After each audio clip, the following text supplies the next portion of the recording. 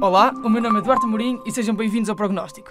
Esta será a primeira Fit Talk do Departamento Desportivo e Recreativo no novo formato podcast, que tenho o prazer de apresentar o Dr. Diogo Miranda Santos, médico da equipa principal do Boa Vista Futebol Clube, como seu primeiro convidado. Muito boa tarde, Dr. Diogo Santos, e seja muito bem-vindo. Muito boa tarde, obrigado.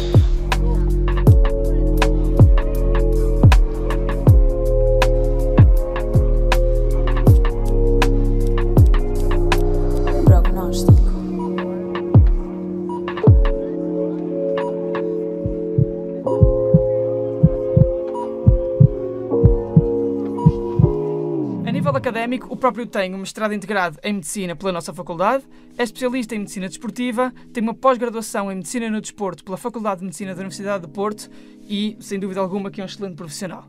No que toca ao, ao desenvolvimento profissional, já trabalhou no Centro de Medicina Desportiva do Porto, já pertenceu à Autoridade Antidopagem de Portugal, já trabalhou como médico da Seleção Nacional de Voleibol e, atualmente, é médico da equipa principal do Boa Vista Futebol Clube.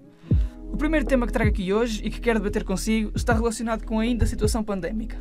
Tendo em conta tal circunstância, de que forma garante a saúde e preparação física de todos os jogadores do Boa Vista? Olá, muito obrigado antes de mais pelo, pelo convite. É uma honra estar a, a colaborar convosco e voltar a, a retribuir um pouco à, à, faculdade e à universidade tudo que me deram nestes seis anos que aí estive.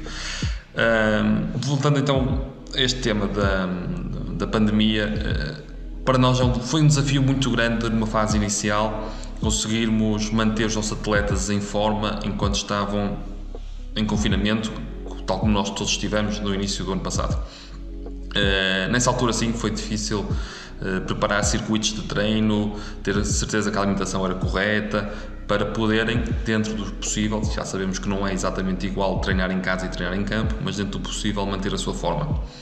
Uh, hoje em dia, o nosso dia a dia já é muito mais normal, ainda com as devidas adaptações da pandemia, tal como na maior parte dos trabalhos uh, em que já se começa a retomar, também no futebol se retomou, com as devidas medidas de segurança, uh, mas com uma certa normalidade que também nos ajuda no, portanto, no nosso dia a dia. Claro, claro. Um, ainda mantendo este assunto, qual, qual, a sua opinião no que toca à continuação dos, dos, campeonatos profissionais em Portugal, principalmente nos meses em que a situação pandémica colocava o país numa situação bastante delicada? Isso foi um tema muito engraçado. Nós, na altura, se, o futebol decidiu parar os seus campeonatos ainda antes do ser decretado confinamento, numa primeira fase inicial. Do futebol, houve uma reunião dos médicos, todos os médicos da primeira e da segunda divisão, que em conjunto e por unanimidade aconselharam a Liga a suspender os campeonatos, portanto, ainda antes entrávamos no confinamento. Portanto, o futebol acabou por dar até o exemplo para a sociedade na altura, ao parar a sua atividade, uh, ainda antes de todos nós ficarmos em confinamento. Depois, em relação ao retorno, nós hoje sabemos que o desporto, especialmente ao ar livre, o risco de contágio é extremamente baixo, para não dizer nulo. Ainda muito recentemente saiu um artigo sobre sobre possibilidade de contacto em jogos de rugby, onde o contacto físico é muito mais próximo que comparativamente com o futebol e onde não houve contágio e havia atletas eh, com Covid a, a praticar esse desporto. E, portanto, deixa-nos com alguma segurança. Contudo, o futebol não é só exatamente o que se passa entre as quatro linhas, mas também há toda uma estrutura fora das quatro linhas que aí sim aumenta o risco de, de infecção. Estou a falar do uso de balneários, estou a falar das viagens para, para os jogos, estou a falar de autocarros, estou a falar de hotéis, portanto, tudo isto aumenta muito o risco de, de, de, infecção e, portanto, são aí que nós temos de ter as maiores precauções. Portanto, na altura, após a paragem, quando foi decidido retomar os campeonatos, eh, foi elaborado um protocolo sanitário, também em conjunto com todos os clubes da Primeira e da Segunda Liga, precisamente para tentar manter ao máximo estas questões de, de segurança para todos os intervenientes, não só os atletas, mas também as equipas técnicas, árbitros, etc. Uh, a título de exemplo, por exemplo, é comum quando vamos viajar para, por exemplo, vamos jogar a Lisboa, é comum irmos de véspera, os atletas partilharem quarto e irmos todos ao autocarro. O que se fazer foi dividir a lotação do autocarro para promover o maior espaçamento social, sempre com o uso de máscara do autocarro, quartos individuais, refeições nos quartos. Portanto, houve esta série de cuidados para ter a certeza que, caso houvesse algum caso positivo, não haveria contacto aos outros elementos. Isto além, obviamente, do plano de estagens obrigatório, que nessa fase inicial eram dois testes por semana, nesta fase é só um teste por semana, 48 horas antes do jogo, que também nos permite filtrar eventuais casos positivos e isolá-los, portanto, evitando que haja contágio para, para toda a equipa e também para a equipa adversária. Claro, claro. E é nesse contágio que nos vamos focar agora, porque o Boa Vista foi uma das, das seis equipas sem qualquer caso positivo de, de Covid-19 entre os meses de dezembro e de janeiro. Uh, para além de Vasco Seabra, que foi o primeiro treinador desta época desportiva do Boa Vista, uh, apenas cinco jogadores uh, testaram positivo. são os números mais baixos da Primeira Liga, com como foi feito esse controle e o que explica tais números, tendo em conta que a diversidade de resultados é bastante elevada? Assim, o controle, eh, o nosso protocolo não é muito diferente do protocolo da maior parte das equipas de futebol. Portanto, há um controle da temperatura à chegada, uma checklist diária de sintomas uh, e qualquer tipo de contacto de risco eh, seja um atleta que disse que teve com uma prima, teve com uma irmã, ou foi ver um amigo, etc., todos esses contactos são automaticamente isolados para ter a certeza que de facto não há casos positivos. Havendo um caso positivo, o mais importante é nós sabermos reagir e reagir rápido. Uh, muitas vezes o que acontece uh, é esperarmos um pouco, perceber o que é que se, se um, um, um contacto de alto risco poderá ou não vir a ser positivo e essa demora pode levar a que a que mais atletas fiquem contaminados. Porque, como falamos há pouco, numa fase inicial, esta separação de todos os atletas era muito maior. Nesta fase, eh, os atletas já partilham balneários, portanto, já, já trabalham em espaços comuns e, portanto, nós temos de ter a certeza que este efeito de bolha é, é, garantido. E, portanto, ao mínimo caso positivo ou ao mínimo contacto, esses casos são isolados, toda a equipa é retestada para ter a certeza que, que não há problemas. Em relação a explicar porque é que temos tão poucos casos, acho que tem precisamente a ver um pouco com isso, ou seja, com a tal rapidez de atuação. Também, obviamente, eh, alguma sorte, porque sabemos que num grupo de 25 ou 30 jogadores, se um ou dois estiverem positivos eh, e que os sintomas, se aparecerem sintomas, podem ser ao fim de 4, 5 dias de, de infecção, é o suficiente para termos toda a equipa contaminada. Portanto, também aqui haverá alguma sorte à mistura. Aliás, nós temos números mais baixos, mas mais baixos que nós, por exemplo, tem o, o Santa Clara e o Marítimo, que pelo seu, pelo seu, isolamento geográfico também torna mais fácil manter este, este, estes níveis menores. Também o Farense tem tido bons, bons números em relação a isso, mas tem a ver um pouco, um pouco portanto, com a mistura de tudo isto. Boas medidas, eh, rapidez na, na atuação e também, obviamente, alguma sorte. Pois, pois, e faz parte. E, e pegando nessa, nessa, nessa elevada capacidade de contágio, houve, houve um pequeno surto na equipa de, de Sub-23 que afetou cerca de seis elementos repentinamente. A minha pergunta é: qual foi o impacto psicológico de um surto de uma doença altamente contagiosa no grupo? É terrível. Nesta fase, eles já estão um pouco mais habituados e todos nós já estamos mais.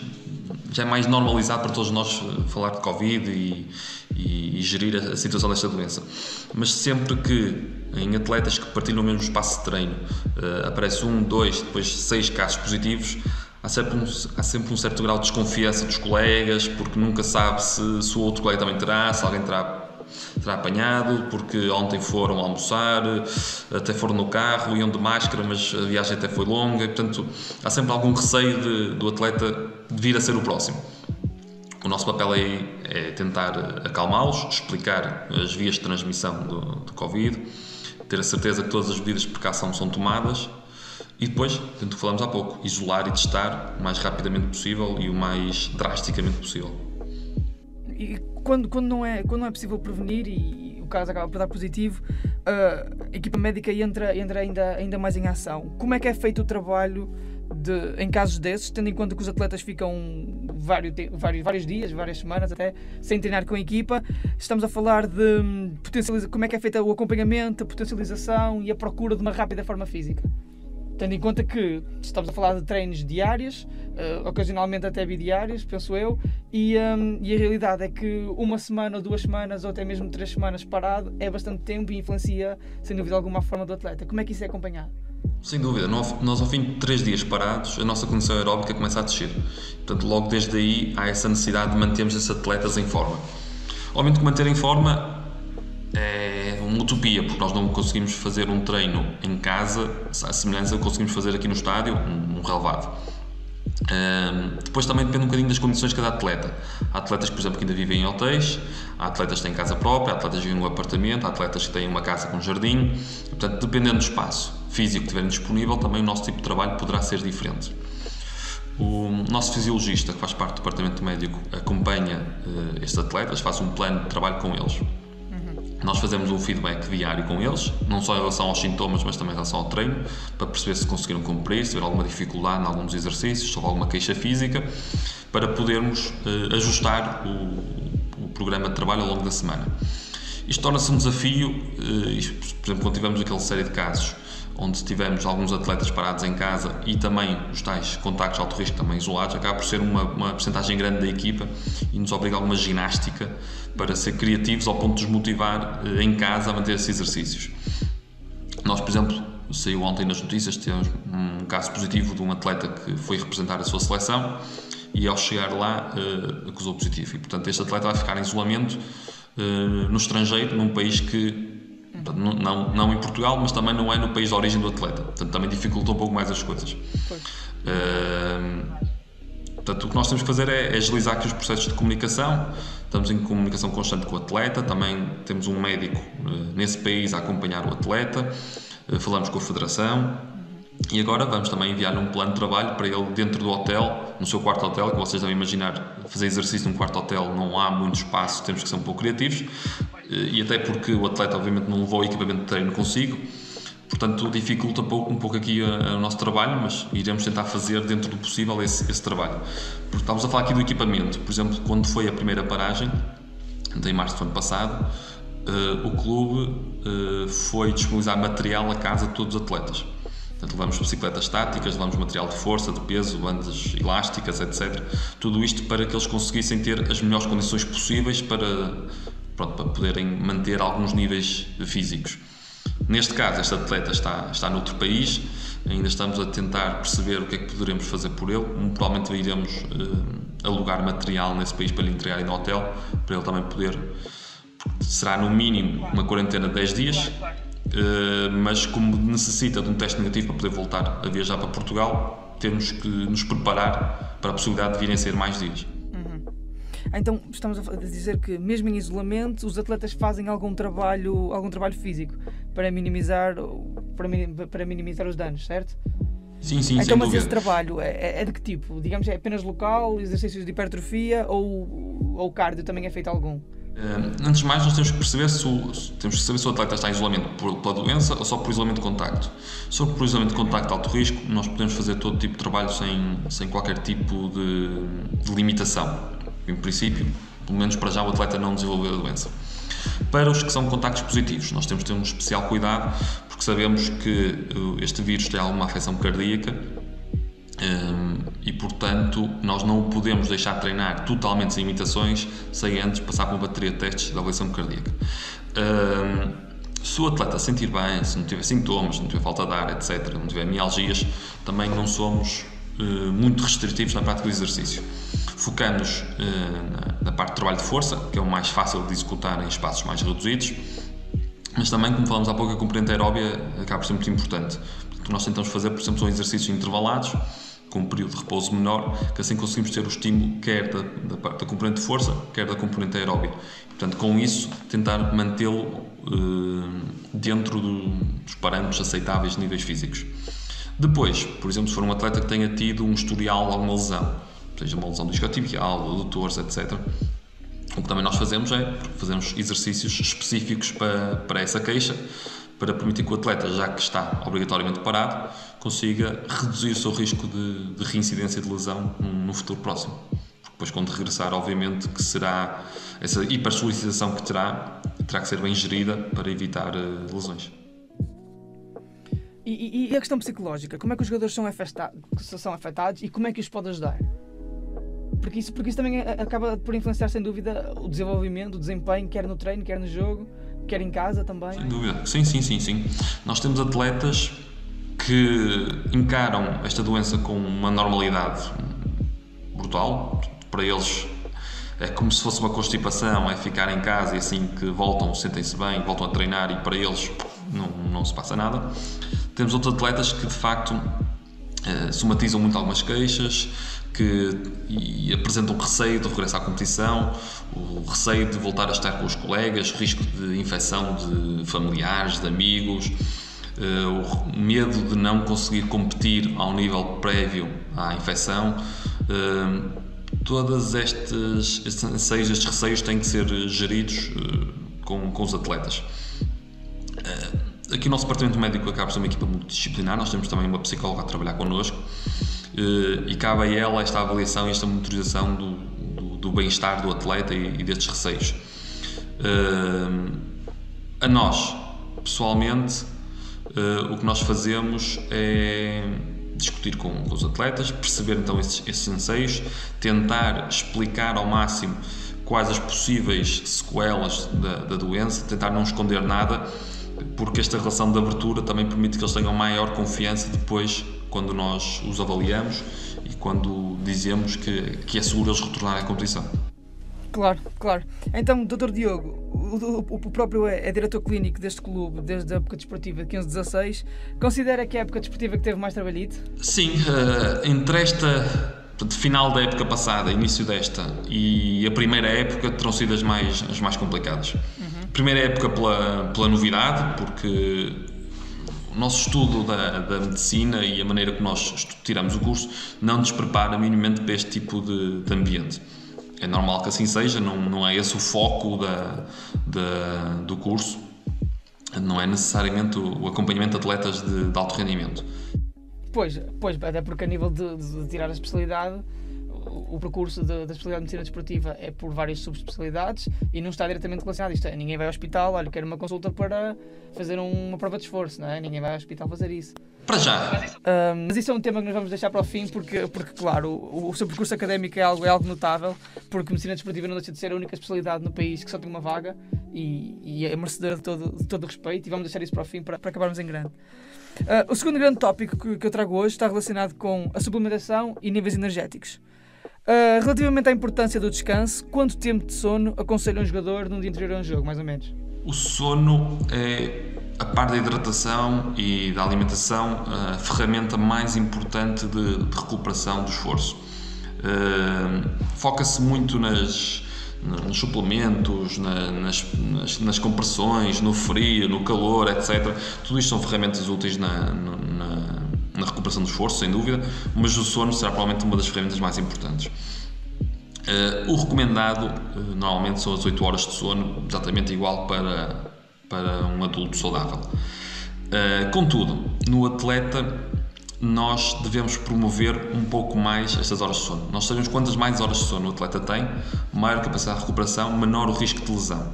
E há estudos engraçados, têm população adolescente, que os atletas quanto menos dormem, mais lesões têm.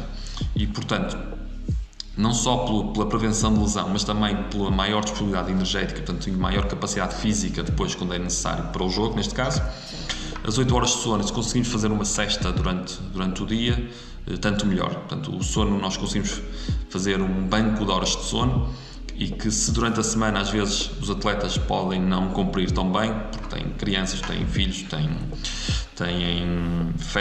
hoje em dia não, mas pronto, mas têm festas e têm jantaradas, etc. Quando fazemos o estágio pré-jogo, uh, o intuito é que o, o atleta esteja em em reclusão vá desde a véspera e permite que reponha essas horas de sono o máximo possível. Portanto, o atleta dormirá uma noite, nós normalmente fazemos 9 horas de sono, sabemos que atletas nem sempre dormem as 9 horas, mas de qualquer maneira apontamos para isso. E depois, durante o resto da manhã ou da tarde, dependendo da hora do jogo, também promovemos pelo menos mais uma hora de sono para esses atletas. Uhum. E tocando então aqui na, na manhã, na, na alimentação, hidratação, hidratação que falamos há bocado, qual é o pequeno almoço ideal para, para um treino matinal? Um, nós, quando comemos, estamos a comer, a preparar-nos para algo, seja um treino, seja uma competição. E se focarmos, por exemplo, na competição, o mais importante para o atleta será ter todos os níveis de energia, ter uma boa potência muscular e não tentar reduzir ao máximo o efeito da fadiga ao longo dos 90 minutos, 120, o que for. E nós sabemos que a principal ferramenta para isso do principal combustível para exercícios de alta intensidade advém dos hidratos de carbono.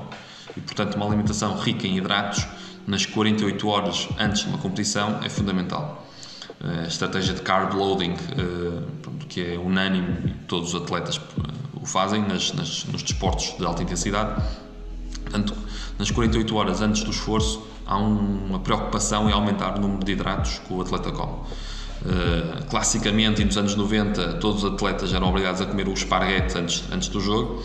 Portanto, não, não é só o esparguete que tem hidratos. Tradicional, tradicional massinha, massinha com Sim, é isso. Não, há, não é só o esparguete que tem hidratos. Uh, pode ser pão, pode ser massa, pode ser arroz, pode ser feijão.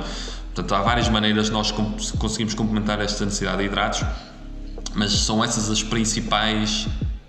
Deve ser essa a principal componente do prato. Portanto, nós temos aquela ideia do prato saudável ser dividido em três terços: um terço proteína, um terço hidratos, um terço salada. Eh, quando é em preparação para o jogo, ou seja, na véspera do jogo e no dia do jogo, nós fazemos metade seja hidratos e depois um quarto proteína, um quarto salada. Portanto, forçar um pouco mais na, na parte dos hidratos. Uhum. Um, saiu há pouquíssimo tempo uma notícia dada pelo fisiologista da, da atual equipa do antigo jogador do Porto, do, do Hulk, dizendo que, tendo em conta todo o seu porte físico, que é, que é fortíssimo, toda a, gente, toda a gente que conhece o futebol e conhece o Hulk sabe, sabe disso, ele pode perder até 5 kg num jogo. Como é que é feita a reidratação esse processo a um atleta de alta competição? Há várias maneiras de nós medirmos o estado de hidratação. Uh, podemos medir a osmolaridade, ver a densidade da urina, etc. Mas as duas maneiras mais fáceis de nós medirmos o estado de hidratação, porque são muito fáceis de fazer, muito rápidas temos resultados, é pela cor da urina e pela pesagem dos atletas. A cor da urina, especialmente ao acordar, dá-nos um bom, uma boa avaliação do estado de hidratação do atleta. Portanto, quando um atleta, primeira urina da manhã, sai uma urina muito escura, é muito provavelmente está desidratado e há uma necessidade de aumentarmos este aporte hídrico. Uh, especificamente após cada treino e após cada jogo. O atleta é pesado uh, antes de entrar para, para o campo e é, e é pesado após o final do jogo, ou do treino. Uh, é normal os atletas perderem 1, 2 quilos após, após um treino, após um jogo. Os 5 quilos do Hulk, de facto, é um um exagero, um número muito grande. Uh, também, provavelmente, pela própria massa do atleta, que não é um atleta propriamente magrinho, não é? Não é um atleta que pesa 50 kg, de certeza.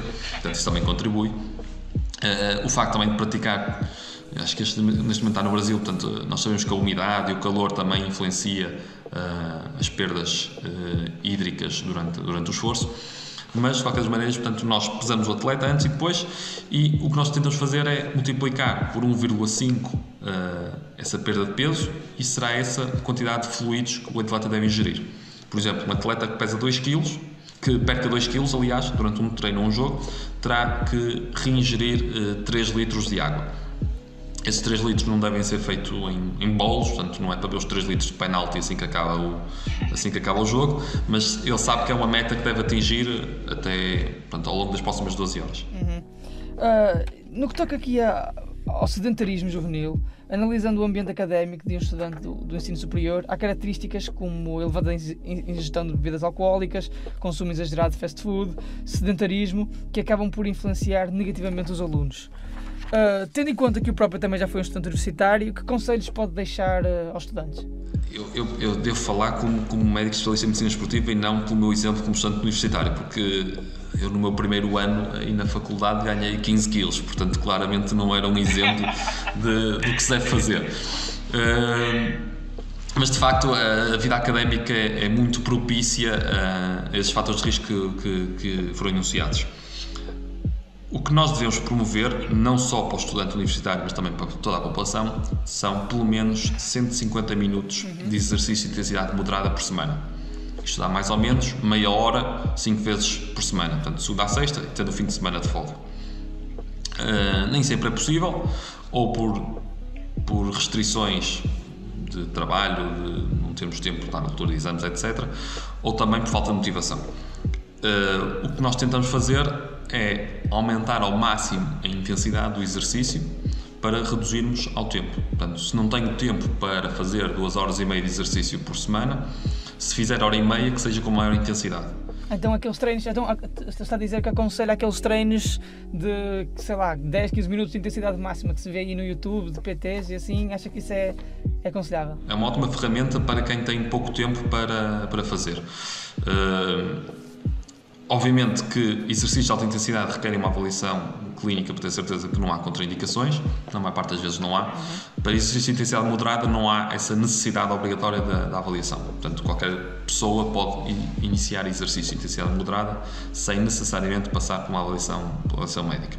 De qualquer maneira, É uma boa ferramenta então para quem quer perder uh, o mínimo tempo possível, garantindo o máximo de benefícios do exercício. Outras ferramentas é aumentarmos as nossas atividades do dia a dia, levarmos a conseguirmos aumentar os nossos índices físicos aí. Por exemplo, uh, no hospital, em vez de ir pelas escadas, em vez de ir pelo elevador, aliás, ir pelas escadas. Ao estacionar o carro, se for possível não ir de carro, tanto melhor, ir a pé ou de bicicleta, por exemplo, ou tentar estacionar mais longe para conseguirmos andar um pouco mais. Portanto, todas estas medidas somadas acabam por ter efeito a longo prazo.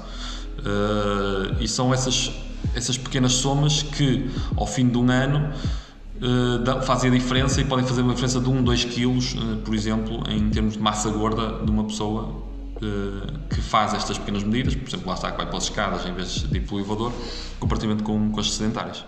Pois, pois. E, e é sem dúvida alguma um, um tópico muito importante da atividade física. Acha que, acha que a atividade física é importante para o sucesso escolar? Sem dúvida. Direta ou indiretamente? Acha que há alguma ligaçãozinha? Há, há muitos artigos que mostram que, que crianças que praticam desporto têm uma maior capacidade de focarem-se nas aulas, que obviamente também acaba por aumentar o, a rentabilidade das mesmas.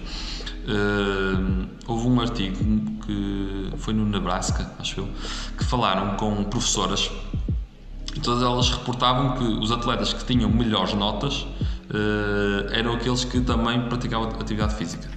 Além, portanto, não só diretamente relacionado com a, com a cognição, portanto, não só necessariamente por aí, mas também com a parte comportamental, portanto, atleta, o, desculpa, a criança depois sente-se mais calma nas aulas e consegue focar-se mais. Uh, Portanto, podemos olhar especificamente para aí, também podemos olhar depois para a parte da disciplina. A parte dos desportos incute umas medidas de, de, rigor e disciplina, portanto, a disciplina do treino, a disciplina da competição, e isso acaba por se transpor também para a disciplina depois na, quando falamos em estudar, por exemplo. Pois, pois, pois, pois. pois. Uh, voltando um bocadinho então ao, ao, tema da suplementação, dos níveis energéticos, quero focar no, no papel da medicina desportiva na otimização do rendimento desportivo.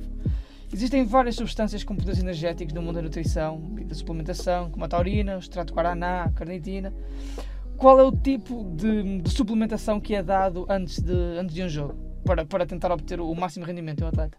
Muito bem. Foste aí buscar alguns suplementos um bocadinho mais obscuros. Uh, por exemplo, a taurina tem, tem evidência do aumento de força em ratos, mas não há nenhum estudo em humanos que, que mostre a sua eficácia.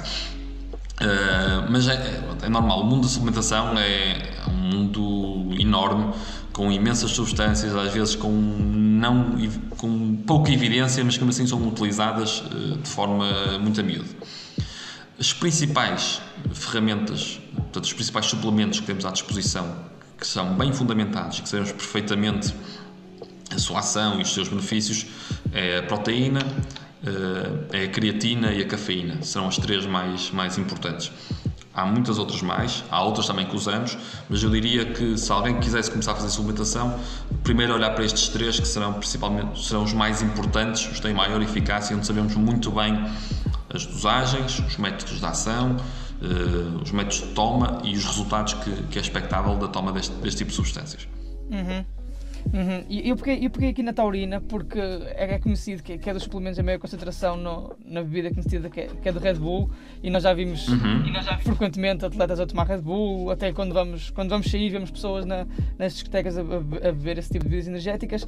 Vamos supor que, que hipoteticamente há um atleta que, que toma isso e acaba por não jogar por... Uh, Uh, por exemplo, uma possível lesão no aquecimento. Há algum malefício de ter uh, ali uma substância que faça que, que propicie ao, ao rendimento desportivo e o atleta acabar por não jogar? Não necessariamente. Por exemplo, uh, pronto, o Red Bull é, é famoso pela, pela, taurina e pela cafeína. São os dois principais uh, elementos que, que, dão o seu, a sua eficácia.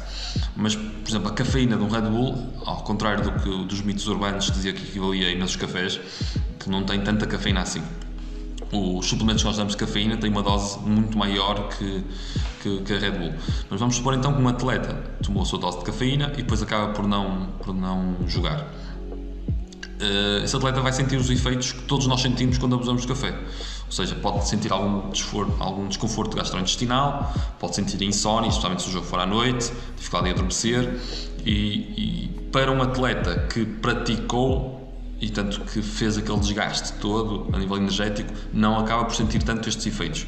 Enquanto alguém que não tenha praticado, eh, obviamente que acaba por, eh, por sentir um pouco mais, mas não aumenta. Portanto, em princípio, no dia seguinte, pode ter uma noite um pouco mais mal passada e nós temos de ter algum cuidado. Já falamos há pouco da, da importância do sono, portanto, temos de ter algum, algum cuidado se houver um treino no dia seguinte para ter certeza que esses atletas estão bem repousados e prontos para mais um esforço.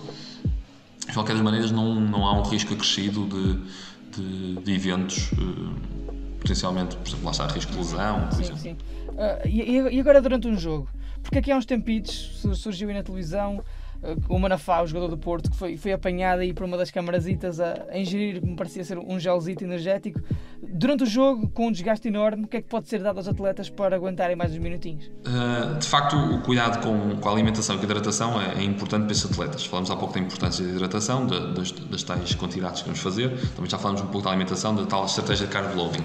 Depois, durante o jogo, os atletas, ao chegar ao balneário, têm uma série de alimentos, nomeadamente alimentos ricos em hidratos de carbono para ter a certeza que o, que o atleta tem a máxima energia disponível e obviamente que isto é reforçado ao intervalo, portanto ao intervalo o atleta também acaba por ingerir mais, mais hidratos. O que, o que é mais concretamente? Por exemplo, diga-me, enumero três ou quatro elementos, por exemplo. Ah, por exemplo, os geis energéticos são uma boa ferramenta porque têm hidratos de carbono e têm cafeína, portanto são dois duas ferramentas importantes para, para aumentarmos a, a, potência muscular, para diminuir a percepção de fadiga, portanto, para que esta fadiga se instale mais tarde. Uh, bananas, por exemplo, também é, um, também é habitual termos, porque são hidratos de carbono de rápida absorção. Uh, há gomas, gomas, atenção que não são, é mais marmelada, vá, são gomas de marmelada, portanto, basicamente é açúcar. Nós damos açúcar com muita quantidade. As bebidas energéticas, não só que já falamos, mas as eletrolíticas, portanto os Gatorades, Powerades desta vida.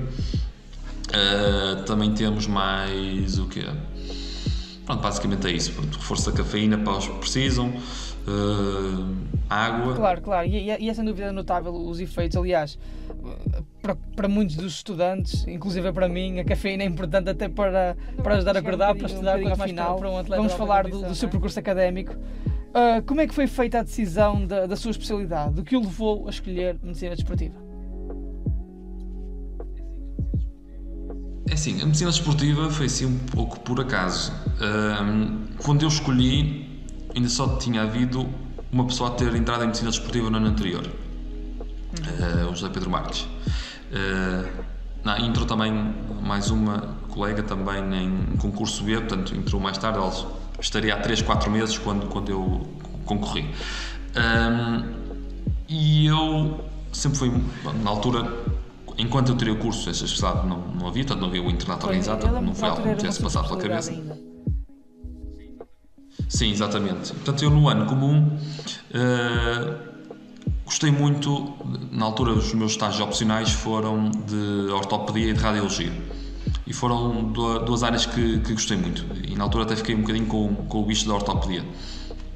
Contudo, não me imaginava fazer uh, só ortopedia porque achava curto para, para os meus gostos. Uh, e acabou por, na altura da escolha, portanto, quando fui ver as especialidades todas, acabei por ver esta medicina esportiva e o currículo foi algo que me agradou bastante por haver uma, uma boa mistura entre a parte cirúrgica e a parte médica, embora eu não faça cirurgia, não é esse o nosso dia a dia, mas de qualquer maneira havia essa experiência, esse, esse, esses estágios nessas áreas cirúrgicas e nas áreas não cirúrgicas e havia uma, uma boa mistura entre, entre, estas, entre estas especialidades. Portanto, a parte da radiologia também acaba por ser algo muito importante no nosso dia a dia e foi uma maneira de conciliar um bocadinho essas duas opcionais na altura que, que gostei bastante. Sim, sim, sim, e é, e é perceptível.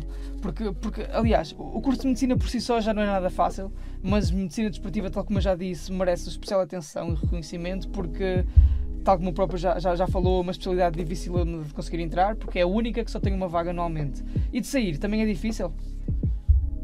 Uh, sim e não. Uh, primeiro vamos falar da vaga. O, o, intuito é aumentar as vagas de medicina esportiva num, num, futuro próximo. Portanto, vamos ver se conseguimos tornar isto um pouco mais fácil.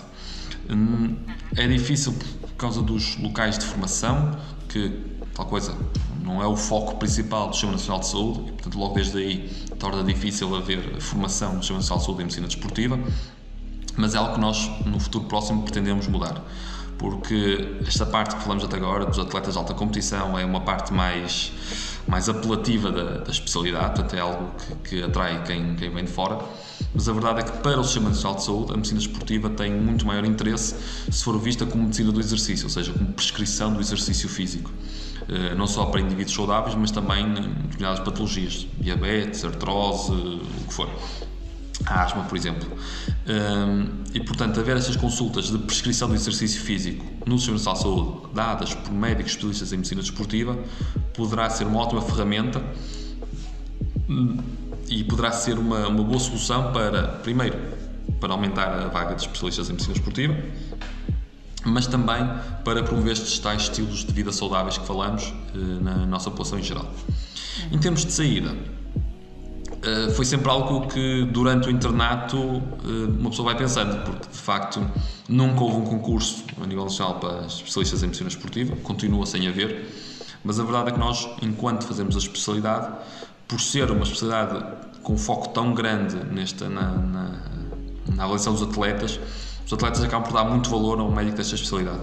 Portanto, acaba por haver bastante procura de clubes, de seleções, de federações, etc., para, para nos ter a colaborar e, portanto, não há saídas do ponto de vista contrato com o serviço público quando terminamos, porque até agora nunca aconteceu, mas as entidades privadas de facto têm interesse em colaborar com médicos especialistas em medicina desportiva.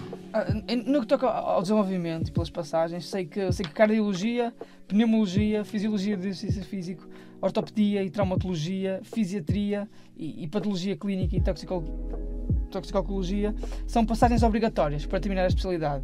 Qual foi, qual foi a sua preferida destas que eu Boa pergunta. Um, é assim, eu gostei muito da cardiologia, de, porque a cardiologia desportiva tem uma série de nuances que às vezes até a própria cardiologia não está a par.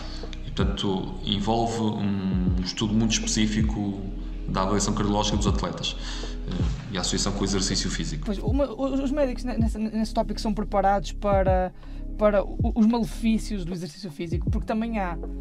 Isso, isso é algo que será posteriormente falado e, e que posso adiantar desde já, mas, mas a realidade é que o exercício físico também tem, também tem malefícios, não é? Uh, os, os, médicos são preparados para situações de, por exemplo, de paragens cardiorrespiratórias e de situações que podem pôr em, em risco a vida de um, de um atleta na alta competição? Sem dúvida, portanto, nós temos que estar preparados para atuar na prevenção, mas também, caso aconteça alguma coisa, uh, para reverter esse tipo de situações. Felizmente, esses eventos são, são raríssimos. Uh, a atividade física, para ser prejudicial, é preciso fazer uma dose extremamente grande durante muito tempo. Uh, por exemplo, mesmo atletas olímpicos, houve um estudo há pouco tempo que mostrou uh, a longevidade dos atletas olímpicos comparado com os seus irmãos. Ou seja, temos genéticos serão mais ou menos iguais, temos sociais também. E mesmo os atletas olímpicos, com a carga de treino que têm, têm uma longevidade maior com os seus, com os seus irmãos. Ou seja, o exercício físico traz muito poucos malefícios. Poderá, obviamente, a morte súbita do atleta é algo que nos preocupa, mas é um evento extremamente raro. As lesões também é algo que faz parte e temos que saber lidar, mas de qualquer das maneiras, eh, só para passar esta mensagem, que os benefícios claramente suplantam sim, os sim, malefícios. Sim, são superiores aos malefícios, claro. Claro, claro, claro. O último estágio, a última passagem, antes, antes de deixar isto, é, é a psicologia desportiva e, e, dietética e nutrição. São as duas opções possíveis que, que, que um estudante, que um estudante não, que um, que um interno em medicina desportiva pode ter. O que é que, o que, é que escolheu? Uh, nenhuma nem outra. nenhuma nem outra? Sim. Portanto, o, o decreto-lei. Uh... Foi, porque esse estágio é opcional, aliás. Eu não, eu não Exatamente, dá, dá, essas duas opções como sugeridas para opcional, mas deixa a abertura para o interno escolher uh, como desejar fazer essas opcionais. Uh, e depois há um problema que é: nós, todos os nossos estágios têm que ser aprovados pela ordem. E quer a nutrição, quer a psicologia, teria que ser num local onde houvesse um médico que seria o nosso orientador. O que, como deve imaginar, não é muito fácil haver serviços de dietética, nutrição ou de psicologia desportiva onde haja um médico que seja necessariamente o orientador. E, portanto, uh, acabei por fazer os meus estágios opcionais no, no Chelsea, portanto, passei um mês no, no, Chelsea, e o outro mês foi na Aspetar, que é o maior hospital de medicina desportiva do mundo, que fica no Qatar. Portanto, acabei por ir um bocadinho para, para outras áreas. Com as médias da nutrição, fiz vários cursos na, na área da nutrição e felizmente já trabalhei com muitos ótimos nutricionistas que todos os dias uh, me enviam artigos e, e mantêm atualizados nesta, nesta vertente. Claro, claro, claro. Quais, quais, quais, foram os principais obstáculos que encontrou, quer no que toca ao curso, escolha de especialidade, da própria pós-graduação e até mesmo no mundo do trabalho? Assim, no, no, internato em si, a maior dificuldade é que não havia direção de internato ainda para medicina desportiva. Lá está por ser uma especialidade nova. E, portanto, não havia facilidade de, ok, vou fazer cardiologia, já sei que vai ser naquele hospital. Não havia esse trabalho, tinha que ser eu uh, proativamente a ir bater às portas dos hospitais e pedir, olha, tenho que fazer um estágio de nove meses de cardiologia, será que podia fazer aqui? Para a medicina desportiva tenho mais interesse nesta e nesta área, para eles tentarem me orientar o estágio. Uh, e, portanto, tem que haver esse trabalho da parte do interno de, de ir procurar. Uh, mas isso também é uma desvantagem porque dá esse trabalho, mas também acaba por ser uma vantagem porque nos permite orientar o estágio como nós queremos, como nós gostamos e permite-nos escolher melhores instituições. Uh, por exemplo, falei aqui da cardiologia, mas se falar, por exemplo, da fisiatria, a maior parte dos serviços de fisiatria a nível nacional estão mais focados na reabilitação, por exemplo, de neurológicos, mais focados na reabilitação da AVC, por exemplo. E no, nosso, no meu caso, da medicina desportiva, eh, tenho muito mais interesse fazer a reabilitação no sistema musculoesquelético, portanto, a reabilitação de lesões, tendinopatias, etc. E, portanto, consegui, graças a isso, falar com um dos melhores especialistas na área, eh, trabalhar com ele no seu serviço e focado especialmente e unicamente na área da reabilitação musculoesquelética, portanto, não, não passando tanto pelas outras valências. Portanto, acaba por ser essa vantagem e desvantagem da, do nosso internato. Depois, em termos de saídas, eh, foi o que falei há pouco, nós, à medida que vamos fazendo no internato, vamos tendo contacto com, com muitos atletas, com muitas modalidades, com muitos clubes, portanto, eh, por aí acaba por haver esta facilidade de saída. Facilidade, atenção, ainda um pouco eh, entre aspas, porque também, por exemplo, estamos a falar aqui, eu trabalho aqui no Boa Vista, é um clube de primeira divisão. Dos 18, 18 equipas da primeira divisão, se calhar metade é que poderá pagar a um médico para trabalhar o tempo inteiro. Portanto, os outros poderão não ter essa prioridade para já e, portanto, também torna-se difícil viver exclusivamente disto. Portanto, é preciso saber ter algum jogo de cintura aqui, ter algum espírito aberto, um espírito de guerra também. Uh, pronto, e gostar. Claro, até porque faz parte do staff, faz parte do grupo, faz parte de quem, de quem faz os atletas andar, mais, mais concretamente. Um, Considera-se um homem realizado a nível pessoal e profissional? Não, ainda não. Ainda tenho muita coisa para fazer, muitos projetos que. Quais são as suas. Eh, tem, tem alguma aspiração que, que, possa adiantar que seja um sonho? É, isso é muito complicado. É assim, eu adoraria uh, ir a, um, a uns Jogos Olímpicos pela, pela, pelo tamanho da, da competição, pelo, pelo espírito olímpico, pela, pela preparação que exige uh, um ciclo olímpico. Uh, obviamente dos atletas, são eles que trabalham, são eles que, que, ganham as medalhas, mas também de treinadores, de departamentos médicos, etc., para os acompanhar nesse ciclo. Acho que seria um desafio muito, muito interessante e, e muito engraçado. Que conselho é que deixa aos, aos, aos, finalistas que este ano realizam a PNA para terem, para terem sucesso na prova? Bem, olha, focando no que falamos agora, fazer alguma atividade física uh, é uma ótima ferramenta para melhorarmos os índices cognitivos e podermos estar mais relaxados e mais tranquilos para, para fazer esse exame. De resto, vou dar um conselho que era o que eu dava a mim todos os dias, todos, todas as semanas, todos os meses, sempre que ia fazer o exame, que é ir o mais calmo possível, confiante, uh, saber que o trabalho está feito. Se ainda podemos fazer ótimo, se não, quando chegarmos à altura do exame, o que está feito está feito e sempre o mais calmo possível e de certeza que as coisas correrão pelo melhor. Exatamente, exatamente. Eu tenho uma última pergunta que, que, que é a famosa pergunta da praxe que vai ser, que vai ser deste, deste departamento e, deste, e destes tópicos das Fit Talks, que é, que é a seguinte. Pergunta da praxe. Qual, na sua importância, a importância da medicina no mundo do desporto? É...